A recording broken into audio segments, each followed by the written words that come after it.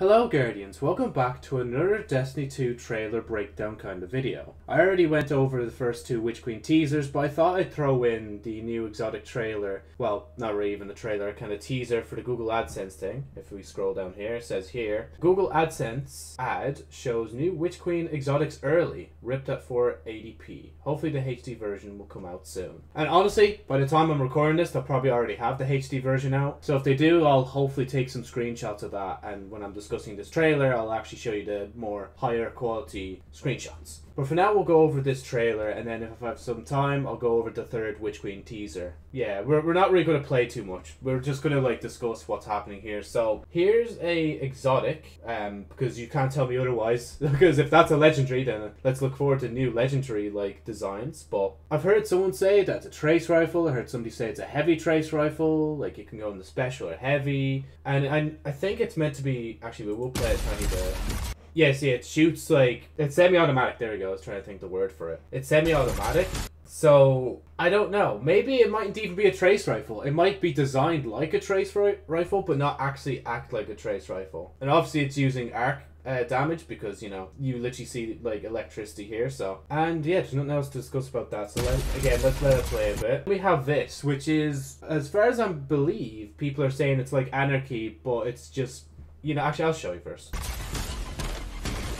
Yeah, it shoots hive larvae. We're shooting hive children out of a grenade launcher. If we go back a bit, here's the gun itself. Looking all kind of snazzy, it looks kind of cool. All I could say is, like, if we're shooting these hive, hive larvae, they're probably going to explode like they did in the Broodhold strike that's getting removed, so... it's cool. We're still getting some exploding worms, even in the Witch Queen.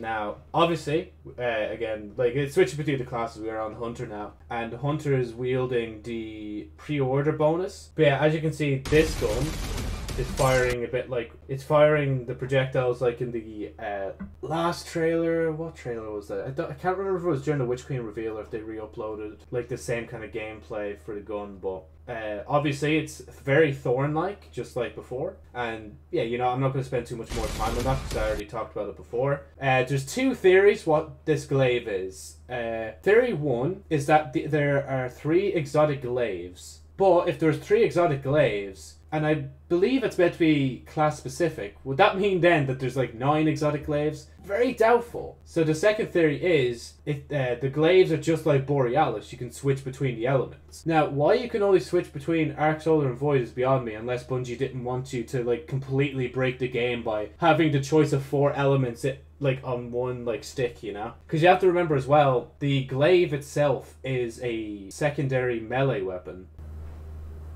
Anyway, I can't remember my turn of thought if you're wondering why I just cut there. But yeah, as you can see, I'm, I'm going to let this one play out and comment over it. So it's on Void right now, puts down a bubble. When it's on Solar, it puts down a uh, healing grenade uh, with a Noble Seeker round going towards the person. And I think the people are right. I think like when you shoot it, it actually is uh, what we call it, like making the secret orb go after the guardian who shot at it. And then this one's like a Arcstrider uppercut, and he's just aiming it towards all them. Now the reason why people are saying it could be the same glaive as well is because like you can see the side here, right? So when it's arc, it's on the left hand side. If I go back to the void, you can see it's on the right hand side now. And obviously, before even then, you see like the animation that it's doing here, swapping it to another side, which means you could just be swapping its element right there and then. Now, uh, I don't think there's anything else, because at the end of the trailer, you kind of just like, you see the Guardians hopping up, and they're just attacking Savathun. And obviously, as I said, there's literally nothing at the end here. So, very interesting stuff. Uh, if I was to predict what this could be leading to, it could be leading to like a kind of like exotic trailer, like an actual big one that could be coming soon. Since, like, I think Forsaken itself also had like an exotic showcase, so like not having an expansion like the Witch Queen have an exotic showcase would be kind of well, it's not really bad, but like it'd be weird if it didn't have one, you know. But anyway, that's enough of me waffling on this trailer.